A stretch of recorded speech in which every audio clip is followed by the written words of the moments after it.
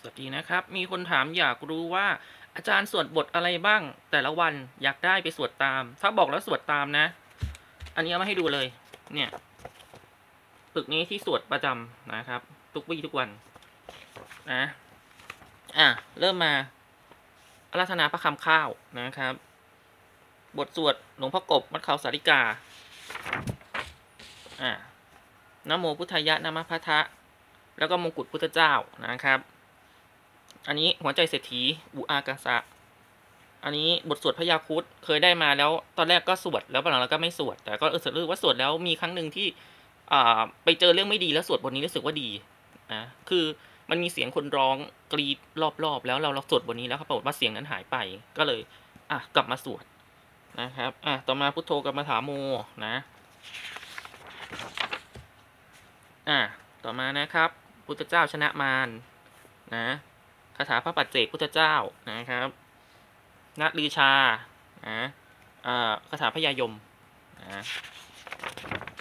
อ่านี่ไม่ต้องดูเลยแกเห็นเลยคาถาเงินล้านนะครับคาถาเงินล้านคาถามหาจักรพรรดินะครับ อันนี้ที่สวดอ่าจินดามณีนะครับเหรียญดามณีหลวงปู่สุขนะครับ แล้วก็ด้านหลังนี้ก็เป็นอ่าบารมีสามสิบทัศนะครับ อ่าอันนี้คาถาบูชาพระพรหมนะครับ เพราะว่าอ่าไหว้ครูครูบาอาจารย์ของตนเองนะครับอ่าอันนี้ต่อมาก็เป็นคาถาอ่าไหว้พระอุมากับพระกวนอิมนะแล้วก็มีอ่ามหามงคลโสรถอีกตัวหนึ่งนะแต่ว่าตัวนี้อยู่ในมือถือ ซึ่งอัดคลิปอยู่ก็เลยไม่ไม่สะดวกให้ดูนะครับตัวนี้จะสวดทุกพยายามสวดเป็นประจำทุกวันนะ แล้วก็ถ้าเป็นวันพระหรือมีเวลาว่างที่เพิ่มเติมก็จะมีชินบัญชร ที่จะเปิดฟังเพิ่ม มีชินบัญชร มีพาหุงอ่ากรณียเมตสูตรนะครับ มีนิลกันถธรณีอ่าใต้ปุยจิวนะครับ แล้วก็บทบูชาพระศิวะ แล้วก็บทบูชาดุลกาชลิสานะครับไหว้พระแม่ลักษมี แล้วก็มีในส่วนของแผ่เมตตาประมาณนี้นะครับ ที่ทำเป็นประจำนะ ถามนิดนึงนะใครยังจำได้เคยที่ตอนนั้นบอกว่า ขอขออาจารย์ท่าน ตอนวันที่สามพฤศจิกายนที่ผ่านมา อาจารย์ท่านบอกว่าที่ปฏิบัติยังไม่พอ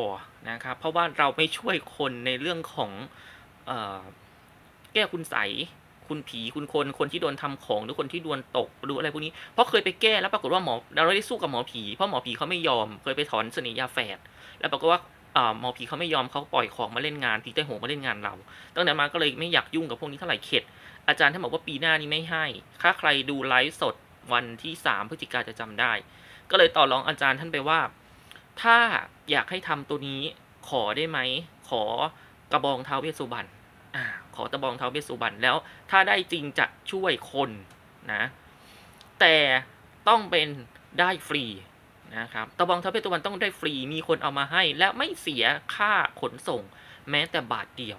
ขออาจารย์แบบนั้นเลยนะขอทาวิสุบรรท่านแบบนั้น ผ่านไปไม่ถึงเดือนนะ ไม่เชื่อก็ต้องเชื่อ อืม ได้จริงนะครับเขาให้พยันมากับนี่ตะบองท้าเวสุบรรณได้มาจริง ๆ แล้วไม่เสียสักบาทด้วย โอ้โห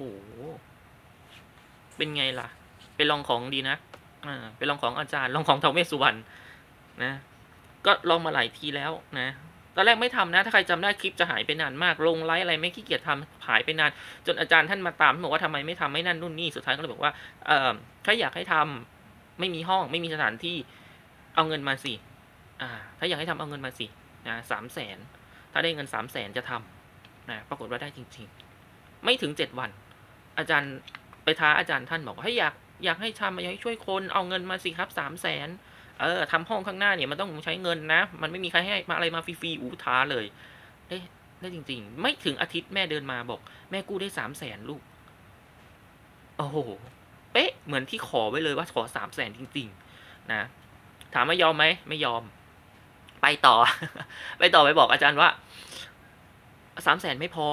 นะ สามแสนไม่มันเป็นโรงจอดรถนะครับ ก็เลยมีหลังคา มีเสาอะไรแล้ว ก็คือปูกระเบื้องทำก่อผนังขึ้นสามแสนไม่พอ ท้าอาจารย์อีกรอบ เฮ้ย มันไม่ใช่ มันต้องได้สิ ขอขออาจารย์ท้าอาจารย์อีกรอบ ถ้าสามแสนไม่พอ ใช้ช่วยคนอีกขออีกแสนหนึ่ง อ่า คุณเชื่อไหม เหมือนเดิม ไม่ถึงสามวัน แม่เดินมาอีกละ แม่ไปยืมมาได้สาได้อีกแสนหนึ่งลูก เป็นสี่แสนแล้วนะไอ้เราก็ เฮ้ยสี่แสนแล้วเว้ย เอาไงดี เอ้ยมันต้องลองอีกรอบใช่ถูกไหมเออ ไม่เชื่อต้องพิสูจน์นะครับ ไม่เชื่อต้องพิสูจน์ท้าอาจารย์อีกรอบหนึ่งถ้า แค่นี้ไม่พอมันต้องปูกระเบื้องอ่ามันต้องปูกระเบื้อง ขออีกห้าหมื่นขอได้ไหมอีกห้าหมื่นค่าปูกระเบื้อง ได้จริงนะครับ ได้จริง ๆ อีกห้าหมื่นสรุปเบ็ดเสร็จสี่แสนห้าได้ ไม่นับรวมยอดก่อนหน้านี้นะครับก็คือได้สร้างห้องข้างหน้าจริง ๆ ไว้ช่วยคนเอ้เราก็ตกใจเลยว่าโอ้โหถ้าบอกว่าช่วยคนหรือช่วยเหลือคนอะไรต่างๆนี่อาจารย์ท่านช่วยหมดนะท่านให้หมด แต่แต่ถ้าขอให้ตัวเองเหรอ ไม่ได้ ขอให้ตัวเองไม่ได้แล้วถ้าบอกว่าช่วยคนนะ อาจารย์ขอช่วยคนได้ อาจารย์ท่านช่วยจริง ๆ แต่ว่าการที่จะบูชาท่านนี่คุณต้องมีศีลห้าเป็นพื้นฐานก่อนนะครับใช่หมั่นไหว้พระสวดมนต์มีศีลห้าอ่าคนส่วนมากจะตกข้อนี้ ก็คือไม่มีศีลห้าไปจะขออย่างเดียว แล้วคิดว่าท่านจะต้องให้ได้ทุกอย่างไม่ท่านจะให้เฉพาะตัวที่ไม่เกินกรรมแค่นั้น